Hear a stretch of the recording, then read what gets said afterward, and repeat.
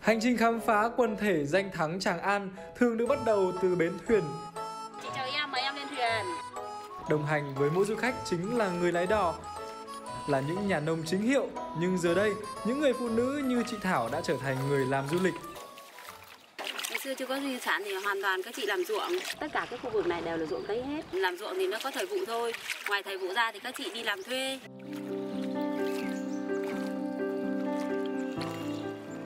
Hiện nay, khu du lịch sinh thái Tràng An có hơn 2.000 thuyền phục vụ du khách.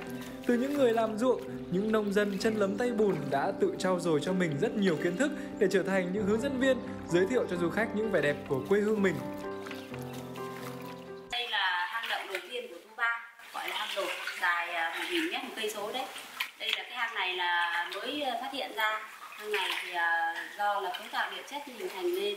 Ở trong hang động thì có rất là nhiều nhũ đá rất là đẹp. Cái nhũ đá này là, là do nước nó chảy nhiều nó vào mòn này. Đây nó thành những cái nhũ đá như này. Nếu mà nó chảy vào cái đá thường thì nó thành nhũ thường còn nếu mà nó chảy vào cái đá gọi các chị gọi là đá muối thì nó tạo thành cái nhũ óng ánh.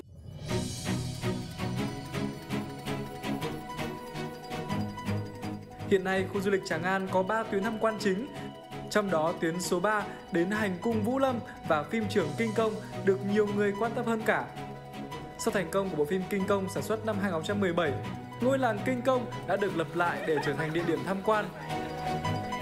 Từ khi có cái ờ, đảo Kinh Công này, chúng tôi lên đóng thổ dân ở trên này thì, thì khách đến đây càng ngày càng một đông hơn ạ.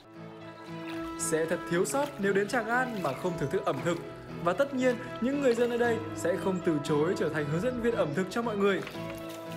Khi đi thì nhớ cậu cùng cô, khi về thì nhớ cá rô tổng trường. Cái con cá rô tổng trường ở Ninh Bình thì rất là đặc biệt, nó ở những cái đầm lầy và nó nằm ở những hang động. Cho nên nó rất là ngon. Cá rô này là ngày xưa là chỉ để tiến vua thôi.